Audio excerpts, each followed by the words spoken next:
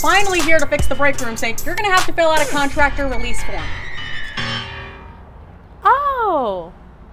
Oh, okay, great. A motherfucking boss ish. This motherfucking job ish. Hey, Lance. We'll wrap later, brother. Month almost over. Need one more payment to hit bonus.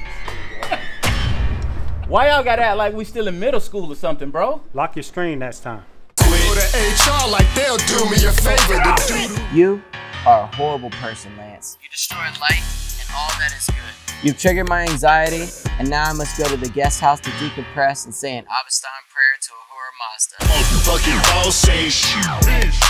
This motherfucking job ish. You're on camera, tough guy! My mother's boyfriend's a cop!